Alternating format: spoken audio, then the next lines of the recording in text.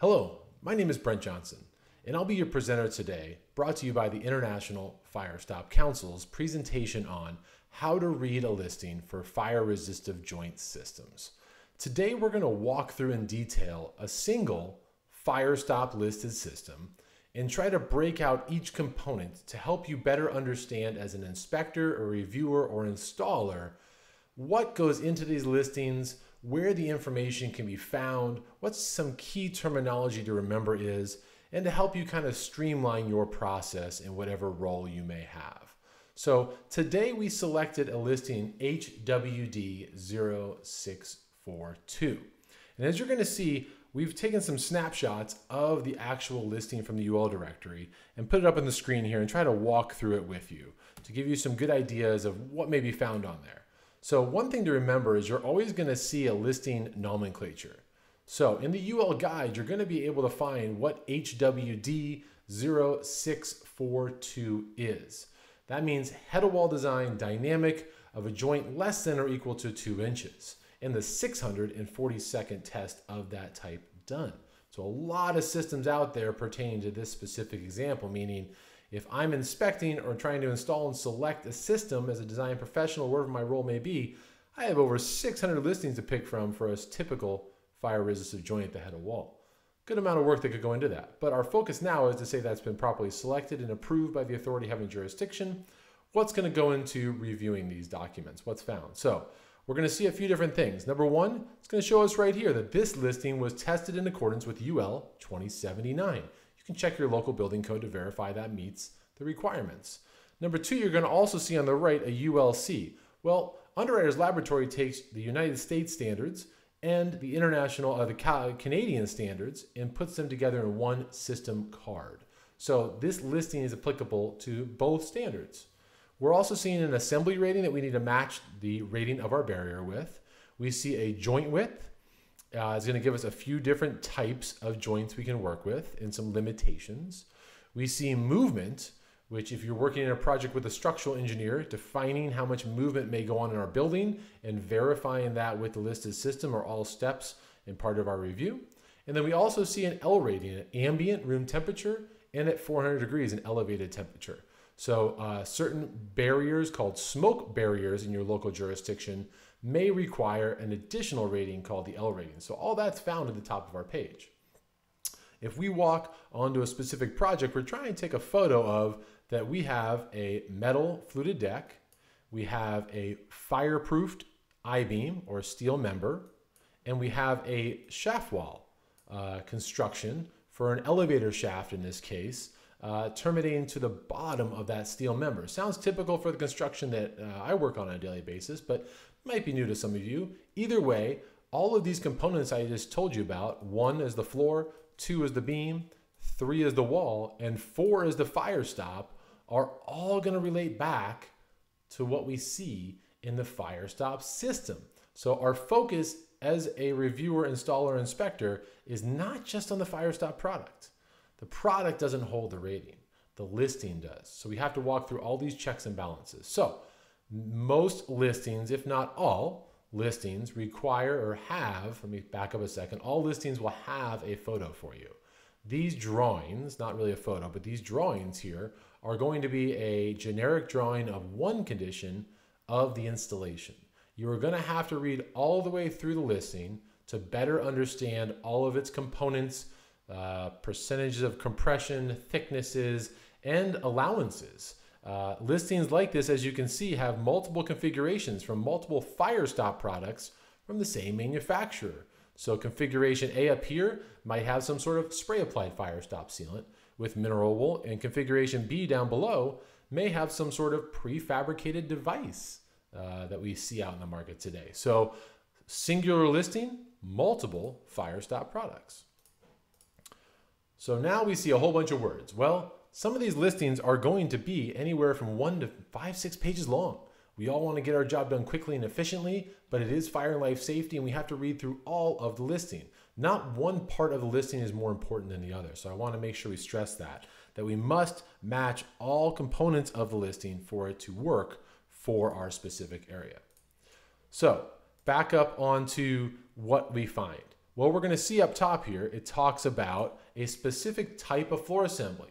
So even though we're not the framing or concrete inspector on a project, we still need to verify that the assemblies we are working with are rated and in fact built as required by that specific listing. So in this case, this floor assembly is talking about a specific type of steel or metal deck. It even gives a specific hundreds of different UL systems to pick from for the floor assembly above. It talks about a minimum concrete thickness, which can vary widely throughout these listings. So we're verifying all these different steps. Many times your architectural drawings will have this floor or floor ceiling assembly on it earlier in the G sheets or general notes somewhere in that drawing, but it's important to identify that. Secondly, we now talk about the steel member. So we're seeing that, hey, a steel beam is acceptable. It's called out in your floor assembly. Many of us know that fireproofing or protection of steel members has their own test standard, own listing, or even their own special inspection. What you're finding now, what I want to point out is that the fire stop system will also talk about the fireproofing or protective measures used on that steel. The importance to remember here is we might not be the fire stop inspector, but the fire stop listing may have a more stringent design than that of a typical beam or structural member somewhere else in the project, meaning additional material of fireproofing and thicknesses may be required in our fire stop system that wasn't called out in our floor or beam or column protection. So something to think about is making sure they all work together. Additionally, specific products are called out here. So if I'm working with a GCP Applied Technologies MK10HB, well, I don't see that here. We want to verify that, that fireproofing and fire stop are compatible with each other. We then get into the floor, wall, and ceiling runners. So we're going to get in the overall floor construction. So we're going to understand, as even though we're not the framing inspector, to verify the basics of our wall are matching what the framing inspector is also verifying per their floor, um, their wall assembly. So you're going to see things like slotted track or J runners or C channel. Different types of framing is going to be called out. You're going to even see that the specific part number or brand of that slotted track in this case is called out. So verifying the legs of the track, the slots, the, where the screws are attached. Again, even though we're not a framing inspector, it's imperative to sit down with that individual, walk through this to make sure that matches what they're inspecting to because the wall listings tested to ASTM E1 19 or UL 2063 do not test the joints or the movement of the joints. So now slots and slotted track and movement of the fire resistor joint are all now found in the fire stop listing tested in accordance with ASTM E1966 or UL 2079. So that's why it's important to walk through all these different areas. It's going to talk about the Z-clip. So again, how is this wall attached to the beam? Via Z-clip. How is it? Welded, shot pin. What's going on there? What's the on-center spacing? How do we fireproof that element? Also found back in our first section. We're also using CH studs, not a C stud or a CT stud. The specific type of stud and gypsum board is called out. So as you're seeing here, minimum one inch, or it calls out just exactly one inch board. So if I have two layers of 5 eighths on both sides, this listing would not be applicable. This is specific to a shaft wall. So you can see by reviewing this, the stud depth, the type of stud, the track at the head of wall and its, its uh, flanges and sizes are called out. The sheetrock gypsum type and thicknesses are also called out, very specific to the wall and floor construction. If we skip ahead a little bit further, we finally get into the fire stops. We verified the wall construction, floor construction. We verified the protection of the steel that the wall is attached to. We verified the component attaching the wall to the beam with the Z-clip or lath or whatever it may be there. We verified the wall construction with our framing and wall design. Now, we've also verified potentially the movement if our building has movement with a structural engineer to make sure all these components match with a structural design. We finally get back into the fire stop design. So this listing actually has two different configurations. And what I want to point out is that means multiple products could be used. Uh, one of the key areas, if you have the opportunity as an inspector, you could do visual or destructive testing of fire stop and fire resistive joints. When mineral wool is used, it's always recommended to witness the installation of the mineral wool so you can verify the correct material was used, densities, Remember, there could be four pound, six pound, or eight pound density boards or mineral wool. There's even two and a half pound density mineral wool. So just because it's mineral wool doesn't mean it works for all conditions. If you look on configuration A, it says nominal 4 PCF mineral right here. So that means I have to use 4 PCF mineral. I use 6. Non-applicable because this says nominal, it doesn't say minimum.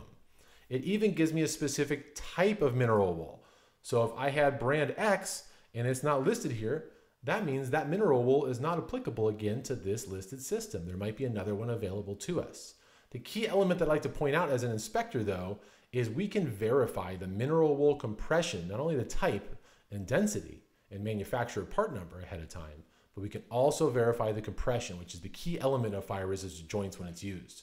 So mineral wool compression can be done standing on the floor, even with the contractor before they install it. If you go up there after the material is installed, there could be damage to the material coming out. It might not rebound 100%. There's a lot of variables that go wrong with destructive testing of mineral wool. So it's recommended to do it up front at the time of installation so you can check all of these boxes off that we're seeing in the listed system. So we have a compression ratio and calculation, which you will learn about from the International Fire Stop Council and the UL guide that will talk about that. We then have a fire stop material, minimum eighth inch wet, 16th of an inch dry. So one of the rare listings out there that gives you a wet and a dry. So if we're doing destructive sampling, calculations already done for us. If we're doing visual, well, we might be able to visually inspect the, uh, the, the thickness of the fire stop spray with some sort of a wet film gauge or paint gauge to get that thickness at the time of the installation. Uh, it does give us overlaps again. Make note that typically when these elastomeric sprays that we see in this photo here are used over mineral wool, you usually get a half inch uh, thickness, uh, a half inch overlap onto surrounding substrates of that spray at the thicknesses called out here or as you're seeing here, a minimum of two inches of that fire stop spray onto fireproofing, meaning because fireproofing is more bumpy and has more areas of voids that it could go. So we're needing to see a larger two inch overlap of that fire stopping material on the fireproofing, or might only be a half inch onto the sheetrock or framing, depending on the condition. And then specifically this part number. So this manufacturer might make a couple different types of spray. But again, this listing is only to Spec Seal AS200 elastomeric spray. Their competitor might have the same exact listing, different number. Got to pull up that listing, get it reapproved if we're using a different product, and do all the checks and balances we just walked through. Alternatively, you see on the right side, the same listed system, HWD0642, calls out an alternative product. So instead of mineral wool, this one calls out a Spec Seal Speedflex joint profile, as we see on the bottom here. So not an exact installation photo, but instead of mineral wool used in the joint from the gypsum to the framing, we now have this preformed joint profile product that goes in or is a stapled. So it gives us a separate set of rules that we must follow as far as how it's compressed, how often it's attached to the barrier. It looks like staples not greater than eight inches on center. So it gives me the installation requirements. It talks about at butt, uh, at butt joints or at seams, we need to have approximate three quarter inch uh, shiplapped at the end. So it tells us how to work the material into these different installations specific to the scenario we started with. And again, same fire stopping material. So looking back at our scope and review of the listed system, the fire stop material is really the last piece of the recipe here. We have a lot of steps building up to that. So we want to make sure we're treating them all equally some of them are going to require additional work up front to work with other inspectors or other individuals in the project to get their information and work together on that. Uh, additionally, we want to make sure that you understand that there's a lot more preformed or prefabricated fire stopping materials in the industry today. And that trend continues to grow. So if we're working on a project with a preformed fire resistant joint material, remember, there is still a listed system that goes with those products. So as I'm showing the screen now, you might have some sort of intumescent tape or gasket or a plate, angle, whatever it may be, applied on the track before you even get to the job site. Those products still have a listed system to the same test standards. So there's still an inspection step and process per your ASTM standard of special inspection to be followed there. Additionally, please remember, sometimes there's more than just that prefabricated product that is required. As you see here with shaft wall construction, which we've been focusing on with a CH stud, and this is our shaft liner, mineral wool was installed here within the top track of this fire resistive head wall joint. That is a requirement of the listed system. If I look at the cut sheet or the product data or even the framing details here, I'm not going to see that. So we might have a prefabricated Firestop product that's a, a, a basic installation, but we still have a compression ratio, depth, and material type of the mineral that has to go inside the track now. So remember, not one Firestop product solves all of our problems. The products don't hold the rating, and we still need to treat each step of the listed system equally. Uh, again, as stated earlier, as we see with mineral wool, the grains of the mineral wool also are imperative to understand their orientation per the listing, understanding what the uncompressed thickness is before it's installed in depths, and then be able to do your calculations if you're doing visual inspection of that to verify the compression ratios of those materials are being followed. Uh, so, as a recap, this presentation was provided by the International Firestop Council. This is of a series of videos that talk about how to read listed systems of multiple types. So this one focused on fire resistant joint systems. We have penetration fire stop systems, perimeter fire barriers, as in curtain wall, and recessed box membrane protection. So think of outlet boxes and other elements like that. We welcome you to watch those videos and learn about them. Also, please remember there is a lot of information found at the International Fire Stop Council's website, firestop.org. Please take a look there. There is a free reading list and videos of lots of information there to help you. Again, my name is Brent Johnson with Firewise Consultants, and this video was provided by the International Fire Stop Council, and we thank you for your time.